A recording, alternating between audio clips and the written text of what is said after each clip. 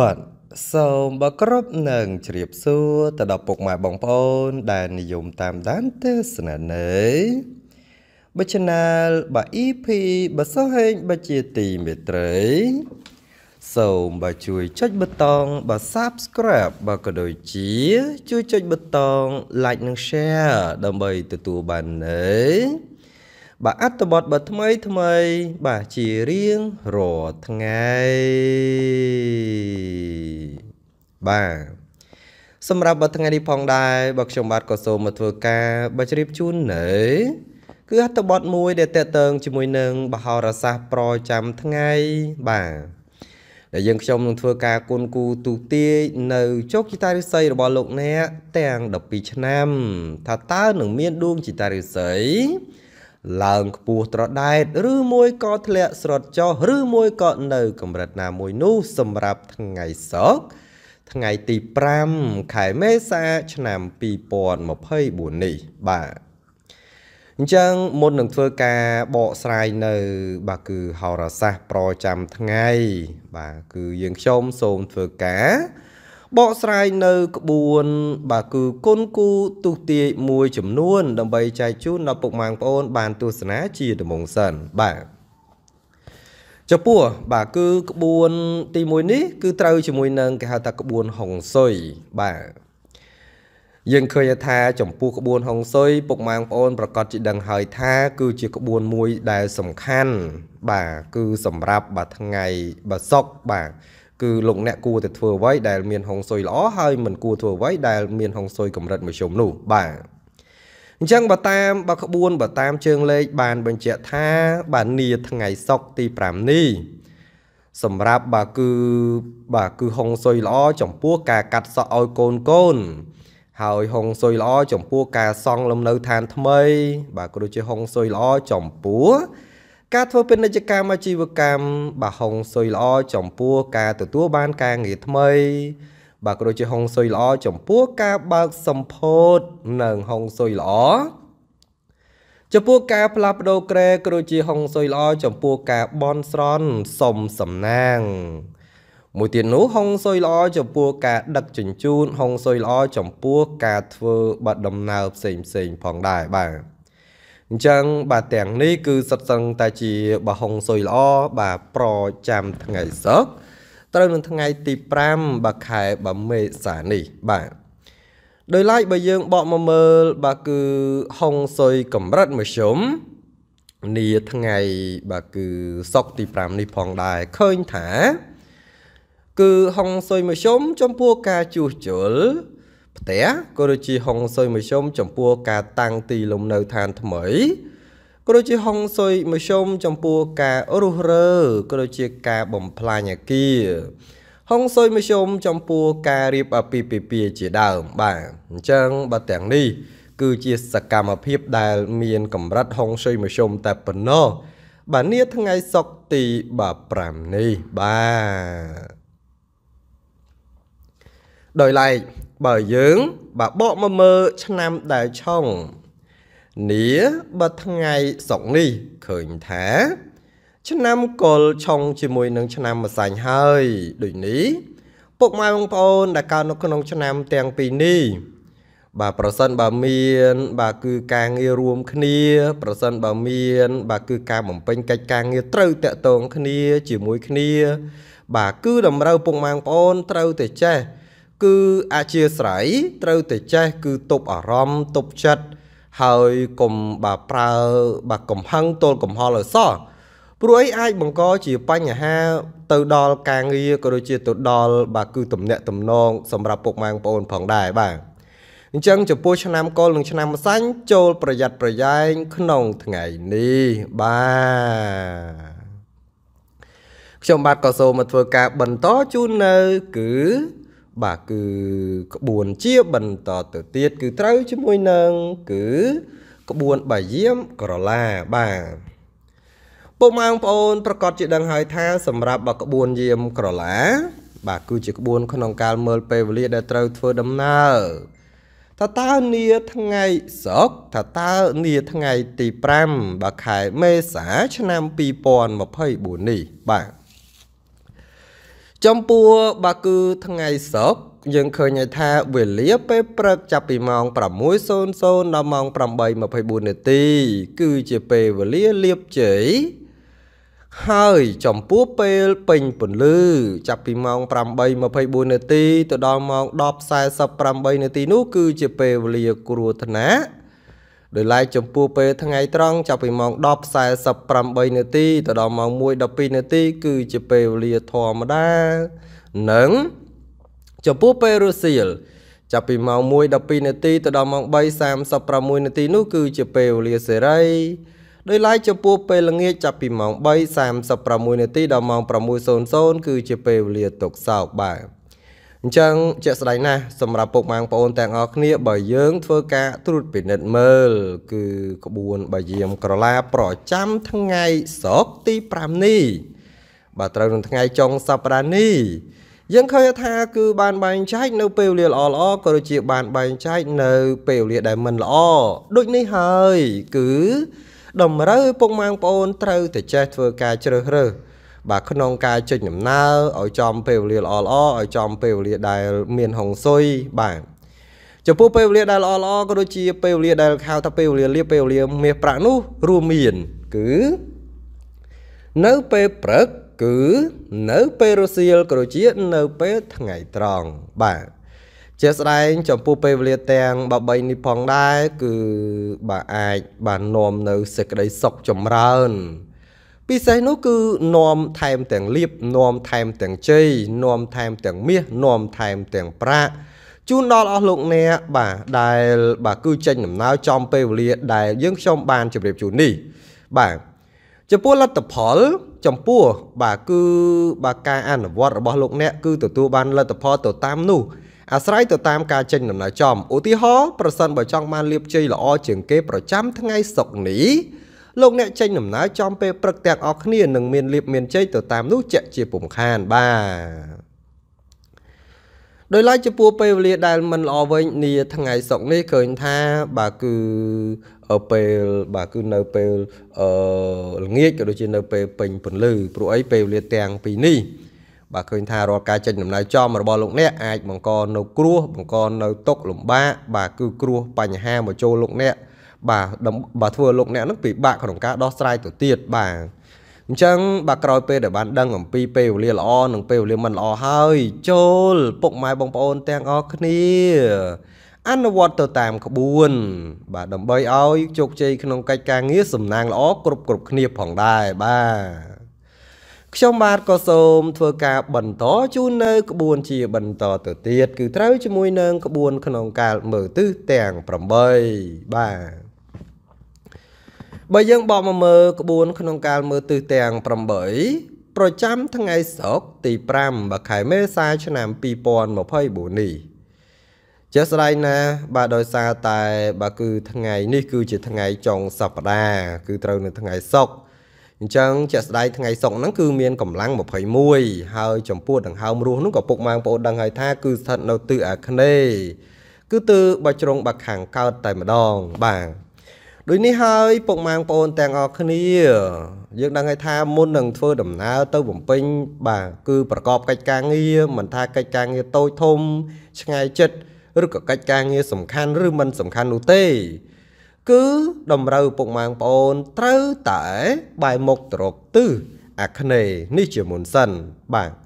ហៅថាទិសដង្ហើមរស់នេះជាមុនសិន ហើយសឹមបន្តចេញដំណើរទៅបំពេញកិច្ចការងារតាមក្រោយចោបាទកាលណាដែលពុកម៉ាងប្អូនធ្វើការបាយមុខទៅរកទិសអាគ្នេយ៍នេះរួចហើយមានន័យថាពុកម៉ាងប្អូនហ្នឹងគឺបានបំពេញនៅកតបកិច្ចដោយលោកអ្នកហ្នឹងគឺបានស្រូបយកនៅធម៌ពលស្រូបយកនៅសេរីសុស្ដីស្រូបយកនៅកម្លាំងដ៏អស្ចារ្យក្នុងការការពារនិងថែរក្សាដល់កិច្ចការងាររបស់ពុកម៉ាងប្អូនផងដែរបាទ យើងឃើញថាបើមិនមានអ្វីពីបាទនោះទេ ចូលអនុវត្តទៅតាមក្បួន ទាំងអស់គ្នាមុននឹងចេញដំណើរទៅណាមកណា នេះគឺជារឿងសំខាន់ប្រចាំថ្ងៃផងដែរបាទខ្ញុំបាទក៏សូមធ្វើការបន្តជូននៅក្បួនជាបន្តទៅទៀតគឺត្រូវជាមួយនឹងគឺបហោរសាស្ត្រប្រចាំថ្ងៃបាទ តទៅជាមួយនឹងបហោរសាស្ត្រប្រចាំថ្ងៃសម្រាប់ពុកម៉ាងប្អូនដែលកើតឆ្នាំជាដំបូងគេនេះគឺត្រូវជាមួយនឹងលោកអ្នកដែលកើតឆ្នាំបិជូតបាទសម្រាប់ឆ្នាំជូតយើងឃើញថារាសីនីថ្ងៃសុក្រទី5ខែមេសាឆ្នាំ2024នេះជាស្រែងឆ្នាំជូតមានធាទឹកឆ្នាំជូតមានពងគឺទេវតាប្រុសរាសីរបស់លោកអ្នកនោះក៏ឃើញថាគឺខ្ពស់ត្រដាតត្រដើមបាទ នៅក្នុងរង្វង់ក្រុមគ្រួសារបើលោកអ្នកមានចំនួនវិវាទក៏ជាពេលវេលាល្អបើក្នុងការធ្វើការដោះស្រាយធ្វើការពិភាក្សាព្រោះថា មិនត្រឹមតែឆាប់ត្រូវរើគ្នានោះទេ នៅត្រូវទទួលផលប្រយោជន៍មកវិញមួយចំនួនទៅទៀតបាទនៅក្នុងបទថ្ងៃបើគឺសុកនេះតែម្ដង ដោយសារតែរាសីរបស់លោកអ្នកឃើញថាឡើងខ្ពស់ ល្អផូរផង់ណាដូចនេះហើយបើទោះបីធ្វើអ្វីក៏តែងរមែងទទួលផលិតផលល្អល្អនិងរមែងតែងទៅហុចជាផ្លែផ្កាយ៉ាងបើឆាប់រហ័សនិងក្រុមមនុស្សក៏មានការអាណិតស្រឡាញ់ជាច្រើនទៅទៀតផងដែរបាទចំពោះអ្នកប្រកបរបររកស៊ីជួញដូរមានការទិញចូលលក់ចេញគួសម ហើយបើទោះជួញទីចិត្តឆ្ងាយអាចរកផលកម្រៃគ្រាន់ចិញ្ចឹមឆ្នាំងបាយផងដែរការធ្វើដំណើរទីចិត្តឆ្ងាយមានតែក្រុមមនុស្សជួយយកអាសា មានតែក្រុមមនុស្សគឺគំពីជានិច្ចបាទដោយឡែកចំពោះបញ្ហាស្នេហាប្រុសស្រី មានការជឿនលឿនទៅមុខនិងកំពុងតែមានភាពស្រស់ស្រាយបាទចំពោះគ្នាជាប្រពៃណាស់បាទ អញ្ចឹងបាទនេះគឺជារាសីរបស់លោកអ្នកដែលកើតនៅក្នុង3ឆ្នាំ3ជូតរាសីប្រចាំថ្ងៃសុក្រប្រចាំបាទគឺថ្ងៃទី5ខែមេសានេះបាទយើងខ្ញុំសូមមកធ្វើការគុនគូក៏ដូចជាទូទាយបកស្រាយនៅជើងលេខនៅឆ្នាំបកំណត់ជាបន្តទៅទៀតគឺត្រូវជាមួយនឹងពុកម៉ែបងប្អូនដែលកើតនៅក្នុងបើគឺឆ្នាំឆ្លូវបាទ ជាស្រ័យណាស់ចំពោះរាសីរបស់លោកអ្នកដែលកើតឆ្នាំឆ្លូវយើងឃើញថានាថ្ងៃសុក្រទី5ខែមេសាឆ្នាំ2024នេះ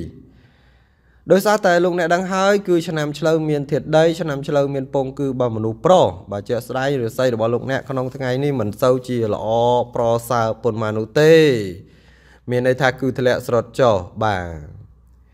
កំឡុងពេលនេះផងដែរដួងចិត្តរិស័យរបស់អស់លោកអ្នកដែលកើតនៅក្នុងឆ្នាំបស័តកូននេះឃើញថាមិនសូវជាគប់ប្រសើរនោះឡើយម្ល៉េះហើយទោះធ្វើអ្វីក៏ដោយក៏តោងតែងមានការប្រយ័ត្នប្រយែងទៅគ្មានបញ្ហាមិនល្អចោតកើតឡើងបាទនាថ្ងៃនេះទោះធ្វើអ្វីมันអាចឲ្យភ្លៀងផ្្លាត់បាននោះឡើយពីព្រោះថាងាយចាប់ផលអាក្រក់ណាបានណាស់ផងដែរ ហើយការប្រកបការងារបើទទួលផលលំបាកច្រើនបន្តិចហើយបើបើគឺជាបាទកិច្ចការងារធំដុំផងដែរនោះក៏ងាយភ្លាំងភ្លាត់និងមានបញ្ហាច្រើន ជាមួយនឹងមិត្តភ័ក្តិរួមការងារទៅទៀតបាទសម្រាប់អ្នកប្រកបរបររកស៊ីជួញដូរបាទលោកអ្នកបើជួបផលលំបាកក្នុងការរកផលចំណូលណា ហើយការជួញទីចិត្តឆ្ងាយក៏តែងតែជួបតែរឿងប្រទាំងប្រទើបើមិនស្ទើរនោះឡើយដោយឡែកចំពោះបញ្ហាសេចក្តីស្នេហាប្រុសស្រីកំឡោះក្រមុំឃើញថាជួបរឿងសៅម៉ងព្រោះតែម្នាក់ម្នាក់មានចិត្តខ្លាំងរៀងរៀងខ្លួនតែម្ដងបាទអញ្ចឹងបាទនេះគឺជារាសីរបស់លោកអ្នកដែលកើតនៅក្នុង3ឆ្នាំឆ្លូវរាសីសម្រាប់ថ្ងៃសុក្រទី5នេះបាទ យើងខ្ញុំសូមធ្វើការគុណគូក៏ដូចជាធ្វើការបកស្រាយនៅរាសីនៅឆ្នាំបកំណត់ជាបន្តទៅទៀតគឺត្រូវជាមួយនឹងពុកម៉ែបងប្អូនដែលកើតឆ្នាំខាលបាទសម្រាប់បើឆ្នាំខាលយើងឃើញថារាសីសម្រាប់ថ្ងៃសុក្រទី5ខែមេសា ឆ្នាំ2024នេះ ជាស្ដែងចំពោះលោកអ្នកដែលកើតឆ្នាំខាលបាទដោយសារតែមានទៀតឈើដោយសារតែមានពងគឺបយៈស្រីរាសីរបស់លោកអ្នកនោះក៏ឃើញថា គឺល្អជាមួយជុំនោះទេបាទនៅក្នុងរង្វង់ក្រុមគ្រួសារបាទស្វាមីភរិយាក៏ឃើញថាមានភាពប្រទាំងប្រទើ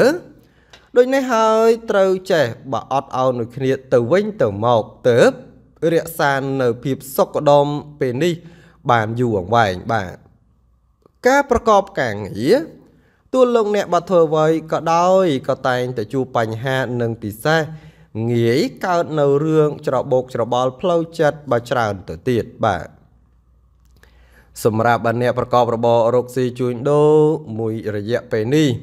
មានការខ្សត់ខ្សោយក្នុងការរកផលចំណូលណាស់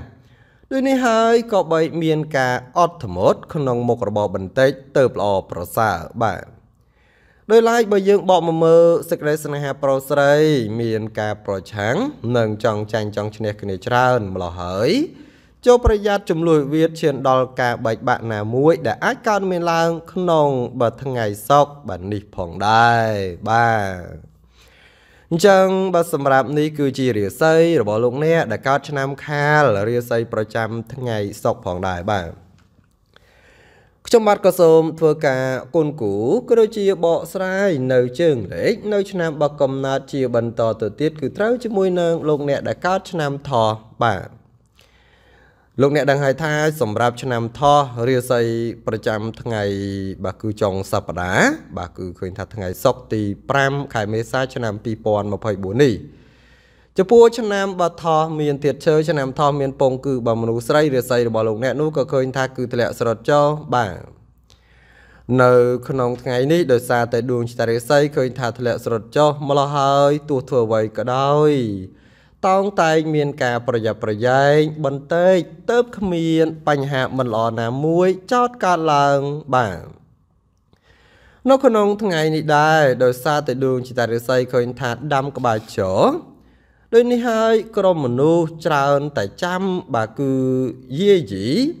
ច្រើនតែចាំបង្កបញ្ហាមកឲ្យផងដែរក្រៅពីនេះលោកអ្នកតែងតែលេចចេញនៅបាតុភិបបាក់ខ្វាយខ្វាយចិត្តនិងធ្វើមិនដឹងបានធ្វើអ្វីមិនឆ្លើយតបដោយសេចក្តីពងបានប៉ុន្មាននោះឡើយបើជាអ្នកប្រកបរបររកស៊ីជួញដូរវិញជួបការលំបាកក្នុងការរកផលចំណូលបន្តិច ព្រោះតែមានការប្រជែងហើយពិសេសប្រយ័ត្នមានចំនួនវាទៅទៀត។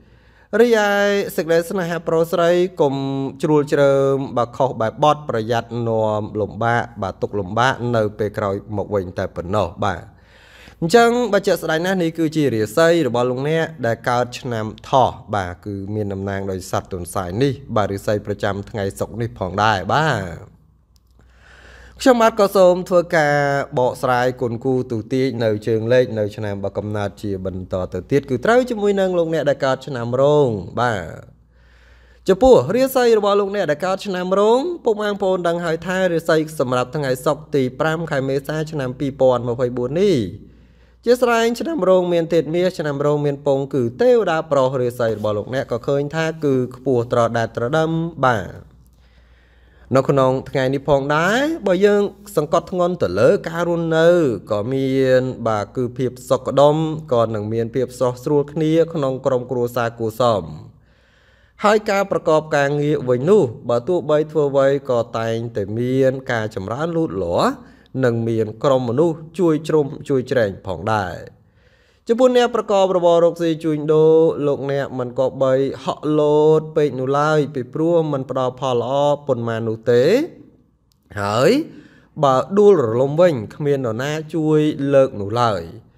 ការធ្វើដំណើរទីចិត្តឆ្ងាយជួបបើសេចក្តីសុខខ្សែងសានដោយសពមួយដងរីឯបញ្ហាសេចក្តីស្នេហាប្រុសស្រីកំឡោះក្រមុំ បើលោកអ្នកចង់ធ្វើការជ្រើសរើសគូស្រករតែងតែជួបគូប្រេងពិតដូចសេចក្តីប៉ងប្រាថ្នាបាទអញ្ចឹងនេះគឺជារាសីរបស់លោកអ្នកដែលកើតឆ្នាំរោងរាសីប្រចាំថ្ងៃសុក្រទី5នេះបាទយើងខ្ញុំសូមធ្វើការគុណគូក៏ដូចជាទូទាយបកស្រាយនៅជើងលេខនៅ ឆ្នាំបកំណត់ជាបន្តទៅទៀតគឺត្រូវជាមួយនឹងលោកអ្នក ដែលកើតឆ្នាំម្សាញ់បាទចុះស្រ័យណារាសីរបស់លោកអ្នកដែលកើតឆ្នាំម្សាញ់នាថ្ងៃសុក្រទី5ខែមេសាឆ្នាំ2024នេះចំពោះឆ្នាំម្សាញ់មានធាតុភ្លើងឆ្នាំម្សាញ់មានពងគឺបើមនុស្សប្រុសរាសីរបស់លោកអ្នកនោះក៏ឃើញថាគឺល្អជាមធ្យមនោះទេបាទ តើតើជាមួយនឹងការរស់នៅ បាទឃើញថាទាំងផ្ទះសម្បែងឃើញថាទាំងទោះនៅទីកន្លែងណាក្តីលោកអ្នកមិនត្រូវយកភាពបប្រកែប្រកាន់ដាក់ខ្លួនច្រើននោះឡើយនាំតែការរឿងសៅហ្មងតែប៉ុណ្ណោះការប្រកបការងារហាក់យឺតយូរនិងពិសេសធ្វើច្រើនបែរជាអាចទទួលរងការស្ដីបន្ទោសទៅទៀតបាទ ក្នុងពេលនេះដែរសម្រាប់អ្នកប្រកបរបររកស៊ីជួញដូរចូលប្រយ័ត្នអារម្មណ៍មួម៉ៅក្តៅក្រហាយមិនដឹងមុខមិនដឹងក្រោយនាំកើតនៅរឿងតូចរឿងធំណាមួយ គេចោមរោមបាទគឺស្អប់បង្កចំនួនអតិពលអាក្រក់ណាមួយកើតឡើងរីឯបញ្ហាគូក្រងប្រៃប្រពន្ធឬក៏គូស្នេហ៍ប្រុសស្រី មានការរកម្មចិត្តព្រោះតែម្នាក់ម្នាក់ចិត្តខ្លាំងរៀងរៀងខ្លួនបាទ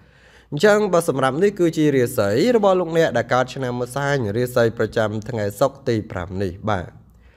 យើងខ្ញុំសូមធ្វើការបកស្រាយគុណគូទូទាយនៅជើងលេខនៅឆ្នាំបកំណត់ជាបន្តទៅទៀតគឺត្រូវជាមួយនឹងលោកអ្នកដែលកើតឆ្នាំមមីបាទចំពោះឆ្នាំមមីរាសីនាថ្ងៃសុក្រទី5ខែមេសាឆ្នាំ2024នេះដែរចំពោះឆ្នាំមមីមានធាតុភ្លើងឆ្នាំមមីមានពងគឺទេវតាស្រី រាសីរបស់លោកអ្នកក៏ឃើញថាគឺល្អជាមធ្យមនោះទេនៅក្នុងថ្ងៃនេះការចេញដំណើរទាំងទីចិត្តទាំងទីឆ្ងាយពុំសូវមានសុខសวัสดิភាពទេក៏បីមានការប្រយ័ត្នប្រយែងពិសេស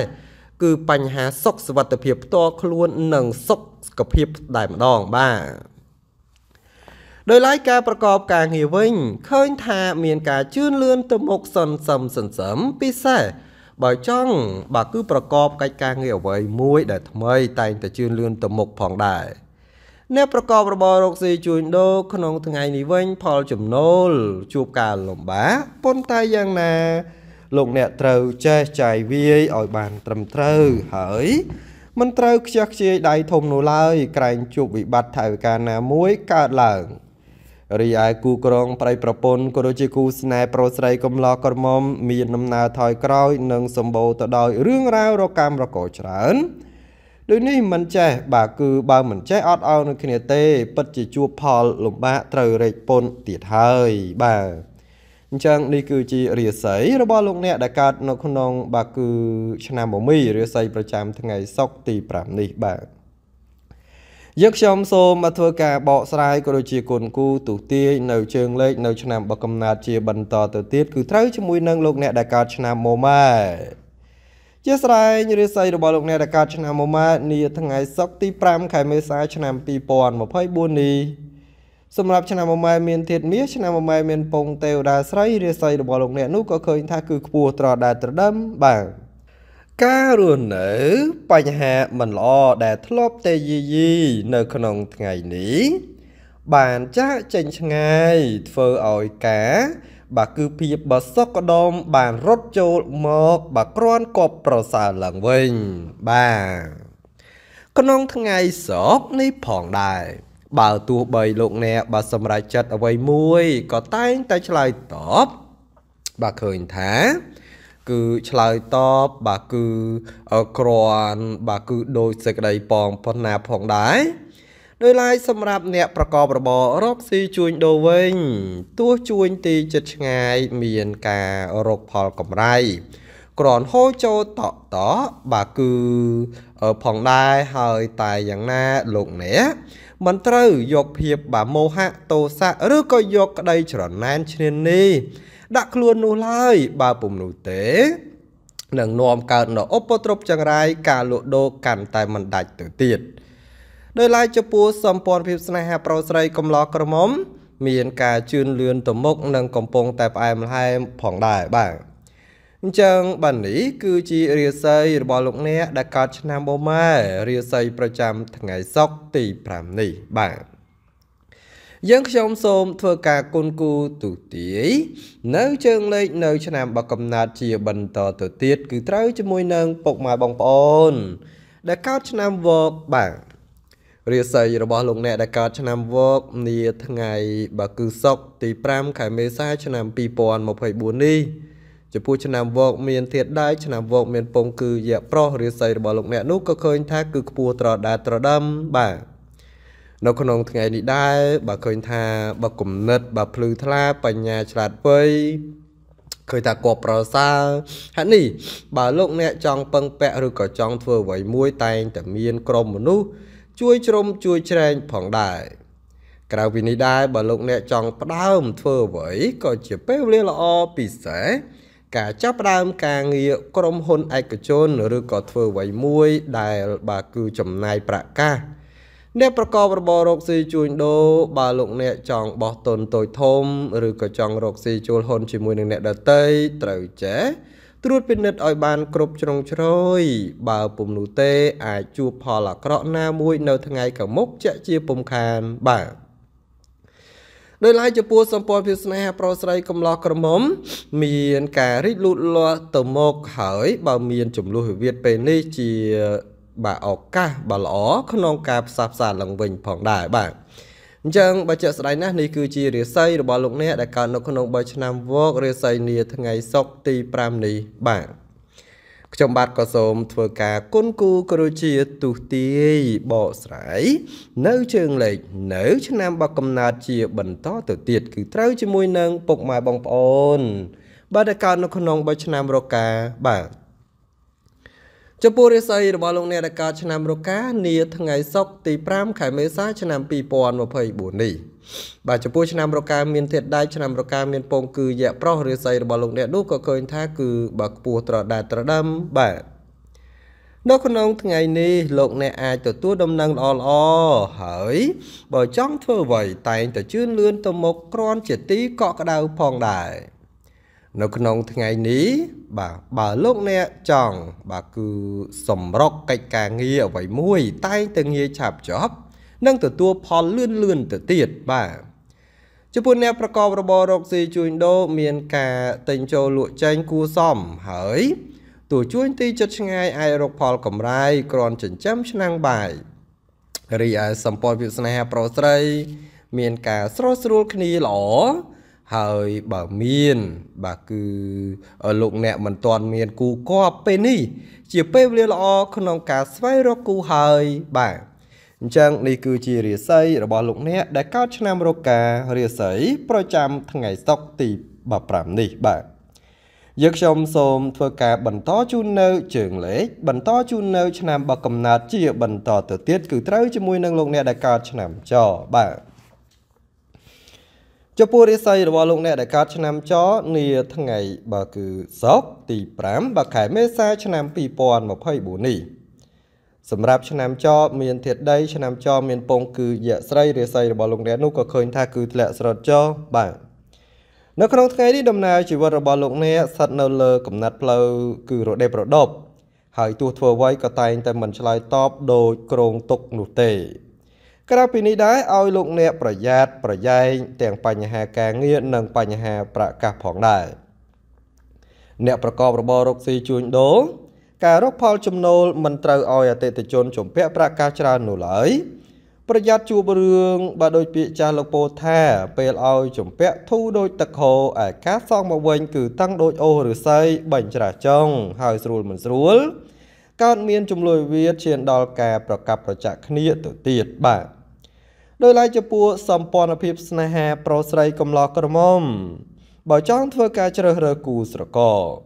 ពុំល្អទេក៏បីមានការត្រួតពិនិត្យឲ្យបានគ្រប់ជ្រុងជ្រោយព្រោះច្រើនជួបគូកម្មជាជាងគូប្រេងបាទ